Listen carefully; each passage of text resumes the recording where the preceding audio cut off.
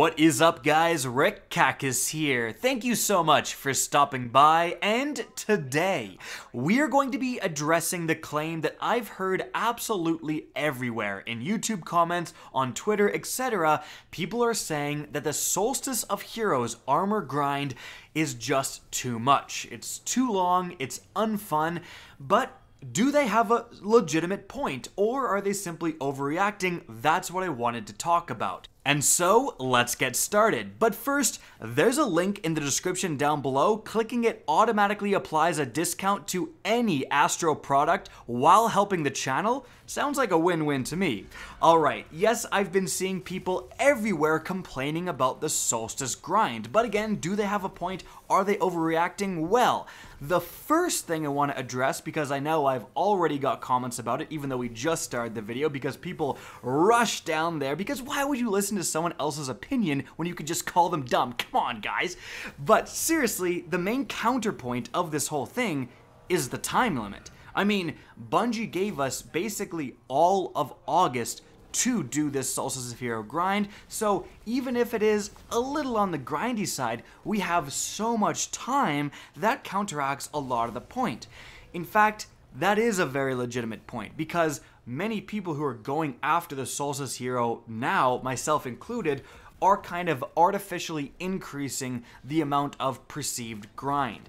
10 Gambit matches don't seem so bad when you play, you know, three or four a day. They seem a lot worse when you play all 10 in a single sitting, trust me. So that is a definite counterpoint to the point of the grind, is simply the time limit. However, I would say to that counterpoint that Bungie could give us a month, six months, a year, it doesn't matter necessarily how long of a time frame they give people to complete the grind. If the grind's inherently unfun, like, doesn't matter. If it's a year to complete, but it sucks every hour you're doing it, that's still a problem, regardless of the time frame. And I think that's another very important piece of the puzzle here. It's not just about can you get it done, it's about when you're doing it, is it fun? Is it worthwhile? Does this feel like an actual event that changes gameplay when you're doing Destiny 2? Or do you simply just have a checklist of things you gotta do before the time expires? So let's talk about that. The grind itself. Is it fun? Is it manageable? Or is it absolutely tedious? Well, a lot of those things are on the absolutely tedious level. I'm thinking 25 patrols. Now that's something that literally anyone can do. It's not about skill, it's not about anything like that. It's just a pure time constraint. And when you're doing it, it's not very fun, let's be honest. Whereas if you are doing Gambit, some people may hate Gambit, of course, but there are a lot of intense moments, especially if you are doing Gambit Prime and stuff, and it can be a fun, enjoyable experience. 25 patrols, not so much. Now, I did mention differentiating gameplay. Does this event feel like an actual event? And when it comes to elemental orbs, it actually does you are playing a bit differently when you're going after those elemental orbs, especially if they are matching the daily element and you're getting those elemental bonuses. Normally, when you're playing a strike, for example, you're just trying to complete it as quickly as possible. But if you've got one of the challenges where you're specifically going for elemental orbs, you're likely going to kill enemies that you would otherwise have ridden past on your Sparrow, for example. If you do get the elemental bonus going, it does change how you play. For example, if it's a solar day, you get the solar bonus and you have the flames spitting out from around you, you're actually going to run into groups of enemies with a shotgun out, play a lot more aggressively than you maybe otherwise would, stand right next to the boss and try to plug him with that shotgun and try to get that damage from your elemental buff on him. It also seems like when you activate your super, when these buffs are on, they last longer so you can kind of chain those orbs even more so. That is sweet and that is great. That whole aspect of the elemental orbs is a good thing about Solstice of Heroes and it makes playing those 10 required strikes, for example, a lot easier to do because you have a little bit of extra power, you're playing a little bit differently, it doesn't feel as maybe monotonous as it would be without these elemental orbs present. However, while that's all great, the problem is that not all of the requirements encourage that type of gameplay. For example, I've mentioned the 10 strikes, and that's all it is. It's just 10 strikes and that has extremely little, if not basically no, requirements for getting orbs past like two strikes, and you'll get all those requirements done. So the, for the last eight strikes, you aren't playing differently, you are just grinding, grinding, grinding, and you're running through that as quickly as possible. Funny enough, the strikes that you have to do are a lot more fun in the second half of the armor quest when you're going from blue to purple. Why? Because you don't have 10 strikes to do. In fact, you don't have any requirement on strikes, you are just doing orbs. So you're in the same activity that you did for the first half of the armor, and you're playing completely differently. You are going out of your way to kill enemies, you are getting those orbs, you're utilizing those bonuses, and like I said earlier, that feels great but I feel like there's not necessarily enough of that.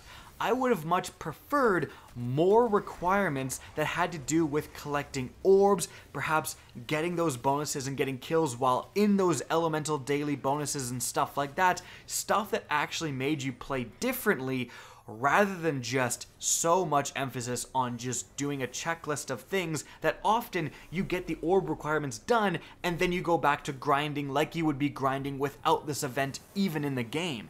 That I do kind of have a problem with.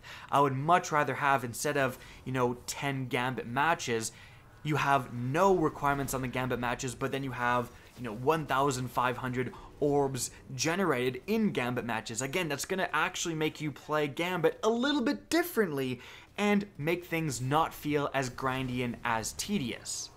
So that is an aspect I feel like Bungie kind of dropped the ball on. Too much checklist stuff and not enough stuff involving the cool new feature that you're adding with this event. But there's one other thing that I think has been brought up a few times and people are getting somewhat annoyed at, and that is the lack of choice. We are actually introduced to a pretty darn good choice in the first armor set, and that is 10 Crucible or Gambit matches. Now, that's actually a really good idea because if you hate Crucible, but you don't mind Gambit, that's to feel so much less grind. You're to have so much more fun in that activity than if you're forced to do something you hate. And some people, especially with stuff like PvP and Gambit, those are things that sometimes people hate. Like they can't stand PvP, they can't stand Gambit. So giving people a little bit of a choice is fantastic. And I wish that was done maybe a little bit more. For example, 25 patrols on Titan if you're a Warlock. Why isn't it Titan or somewhere else? Titan or Mars? Just giving people a little bit of choice and flexibility because as it turned out, if you are a Warlock and you got Titan, you're a little bit screwed compared to some other people because there's only two public areas to get patrols, whereas if you had Io, there's three, so there's more patrols you can get. And also, it's kind of funny that, like I've said, we see this option in the first armor set between Crucible and Gambit, but then by the second armor set, there's no choice at all. It's just Gambit. So I really do think offering a little bit more choice when it comes to these requirements, you know, instead of 10 strikes, it's 10 strikes or, you know, 25 daily missions, how about? And then you actually have a little bit of skill requirement and testing to figure out which path is actually faster. Maybe you can switch between them because it would be a point system, let's say 20 points in total, strikes give 2 points, daily missions gave 1 point, something like that. So if you got super bored of strikes, you could go to daily missions. I'm just saying give the player a little bit more options when it comes to their grind and a system like that would feel better with multiple characters. That's another thing I want to talk about with multiple characters. Truth be told, it's really not too bad to get your first character up to the legendary armor. Yeah, it's going to be a little bit annoying and honestly a little bit unfun, but it's going to be doable. But if you have three characters, like a lot of us players out there have, it just gets more annoying. Again, this is not a question of doability. Like I said at the beginning with the time constraint, you can 100% get all of them done. It's just a question of are you having fun during this grind? And 30 Gambit matches, or if you do it twice, 60 Gambit matches over the course of a month if you don't like Gambit is kind of a lot to ask. I tweeted out, and I think this would be a great idea, that okay, for every character you complete, it lowers the requirements by 20%. So when you're on your last character, you don't have to do 10 strikes, you have to do 6 strikes, for example. Like, you already proved you can do strikes. Do you really need to do 10 three times in a row? Do you know what I mean? And I think that would actually be a really nice thing for those people who are running multiple characters. There is also a bit of an issue with some of the requirements involving the EAZ. The EAZ is actually a cool new area. I like it. I didn't like it at first actually, but once you kind of learn the map, once you learn how to get to the rooftops and stick to the rooftops and keep your engagements kind of up there, and then you can find more entry points to those buildings and so on, it's actually a pretty fun activity. I do definitely enjoy it, and the space feels fresh and new. There's so much more verticality than we usually get with areas in Destiny, so that's all good. But the problem is that for the blue to the purple armor, you need to get 50 EAZ chests and 100 mini bosses. Those should be reversed, obviously. I can't believe Bungie completely like didn't see this happening when they were designing these requirements because you get the chests way before you get the mini bosses, so now everyone's backing out halfway through, and that can create problems. But can you blame them? Like, this is so much grind, they just want to get it done. And another problem is that you actually have to be involved with these mini boss kills. It's not just the total mini boss kills of your team, which it also should be because if you're running over to shoot a mini boss and your team kills them just before you get there, sometimes that won't count towards your mini boss count and that could be extremely frustrating. So like that that's an, an unnecessary thing as well. By the way if you are going to leave halfway through try to get a three man group. Don't screw over other people or at least at least extend the grind a tiny bit for yourself kill the end boss and then leave for the chests but again, that whole issue doesn't need to be an issue if Bungie just switches the mini bosses with the chests. So it's again 100 chests, 50 mini bosses, problem literally solved. So, do I feel like this is the grind to end all grinds? No, absolutely not. Because again of that time limit and because all of these activities are pretty accessible, like except for when it comes to masterworking armor, but you really don't need to do that. When it comes to getting to legendary, it's just doing things that everyone has access to really. You know, there isn't a requirement to do raids or something like that where people sometimes just wouldn't be able to do that. You can do Gambit, you can do Crucible, you can do Strikes. You may not enjoy it, but you can do them all. So I don't think this is the worst grind in the world, but as I've kind of went through in the video, I feel like things could have been done better, right? And there, there's a spectrum. Not everything has to be the best thing in the world or literally suck so hard, right? There is a spectrum in between there. And I feel like Solstice of Heroes 2019 definitely falls within that spectrum. There's a lot of things that they could have done better. I would have loved more emphasis on these elemental orbs and these bonuses rather than just yeah 10 strikes good luck dummy right? Like that's what it feels like and it should be you know a, a thousand orbs in strikes and that makes you again play differently. That would have felt less like a grind. That would have felt less tedious because it would have been a bit different. But I want to end this video with a huge positive about this whole event, and that is, I believe, the Armor 2.0 system.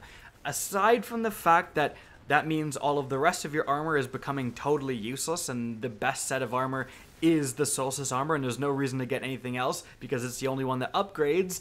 The fact that they have this massive carrot at the end of the stick where armor 2.0 is a desirable thing and if you do the grind you will be rewarded with a practical good reward that's why we're talking about this that's that's the only reason I'm making this video is because everyone wants to do this grind and everyone is now kind of talking about and there's so much buzz in the community. If Bungie hadn't had that, and they could have easily just had a set of armor, it's masterworked, and then going into Shadowkeep, you have to earn all new armor. There would be nowhere near the amount of buzz and excitement and people doing this grind. So that was a very good thing.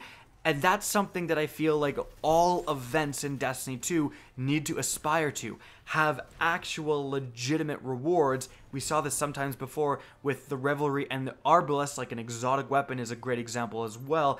Again, have actual legitimate rewards that are going to make people excited and participate in these events. If you don't, if it's just cosmetics, a lot of people really won't care. So that is something also very positive about this event. But what are your thoughts on this event? Are you having fun? Are you tired of the grind already? Do you think you're going to get all three characters done or are you just going to pick one character because the grind is too annoying? Let me know in the comment section down below. Guys, I hope you enjoyed this video, found this discussion interesting. If you did, please remember to help me out by simply rating and especially sharing this video. If you guys want to see more Destiny 2 content similar to this, don't be afraid to slap that subscribe button. If you guys want to get in touch with me and keep up to date with the latest channel activity, the best way is to follow me on Twitter at That's linked in the description down below. Again, I hope you enjoyed the video, and as always, have a good day.